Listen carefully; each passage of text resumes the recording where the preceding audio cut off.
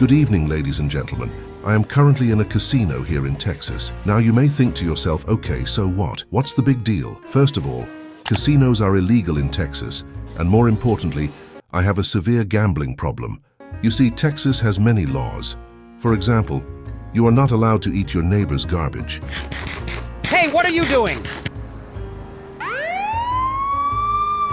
Or, you can't shoot buffaloes from the second story of a hotel. yeah, boy. FBI, open up! No, really. These are actual laws in Texas. However, among the numerous random laws in Texas, there is one that stands out as particularly strict, the gaming law. No poker, no dice games, no sports betting, no slots, and especially no casinos. The only somewhat legal forms of gambling include parimutuel wagering on horse racing, charitable bingo, and the Texas lottery. But didn't you say you were in a casino in Texas? Yes, I did. So why is there a casino in a state where casinos are illegal? The answer is a bit complicated and has to do with US history. Here, take a seat at the poker table and let me explain. Bruh. Oh, come on, don't worry. I will only play one round. no, no, no, no.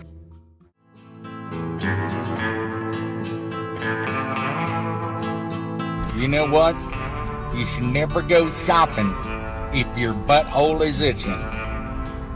Welcome to the Wild West of Texas, a land filled with cowboys, outlaws, and these things randomly rolling through the streets.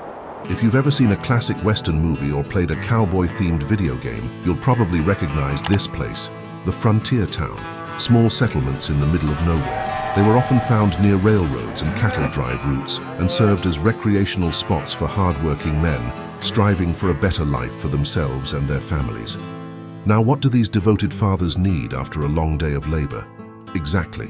Whiskey, opium, gambling, and prostitution, all of which can be found in the saloon, the predecessor of the modern casino. It was a gambler's paradise. All types of men came here to get drunk, duck women and make a fortune playing cards and dice games. Everybody gambled, and it gets even better. Being a professional gambler was an actual job. If I was telling my family I wanted to play roulette for a living, they would hold an intervention and call me an addict. But back then, being a professional gambler was just as legit as being a doctor. The saloons played a significant role in the local economy, and the number of professional gamblers in a town was often seen as an indicator of its prosperity. What a time to be alive.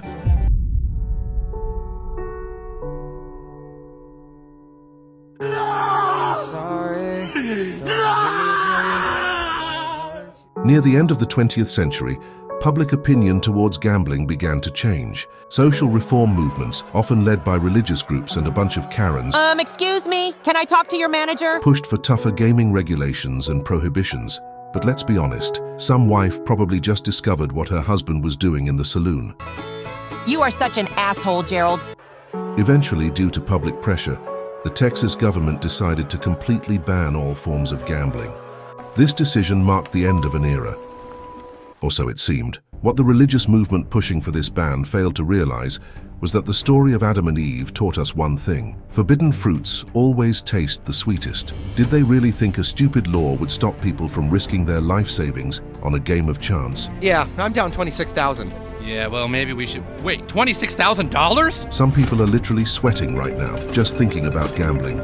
That's called an addiction. Shut up, Karen. That's called dedication. Scrape it, scrape it, scrape that motherfucker!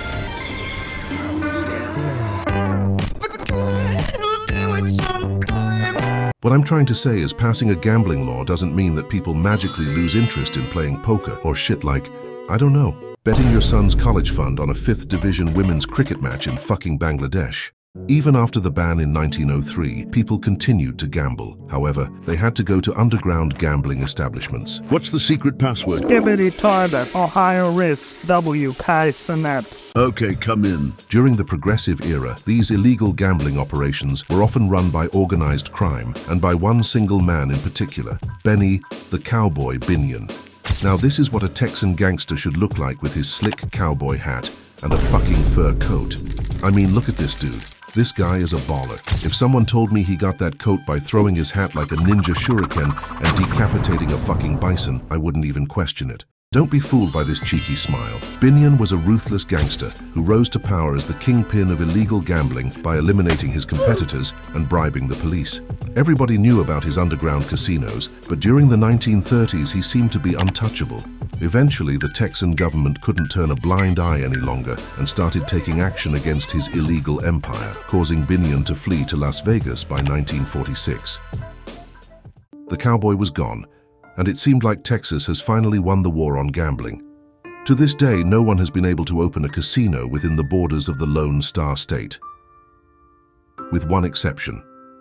Nope. Although casinos remain banned in Texas as of the creation of this video, there are currently three operating casinos in the state. How is this possible? Well, they aren't technically in Texas. Um, actually, that's not correct.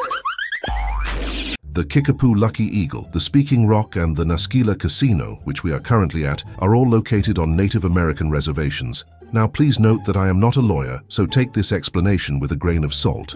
Okay. But the US Supreme Court recognizes these reservations as sovereign nations, meaning that they have their own government, their own tribal courts, and they can make their own laws. State laws basically don't apply to these territories, so as long as these casinos operate under the so-called Indian Gaming Regulatory Act, Texas can't do shit about them. So yeah, that's the reason why Sir, your credit card got declined, and you owe the casino $69,420. I told you I had a fucking problem. Now please subscribe and watch my other videos so I can maybe pay off my gambling debt.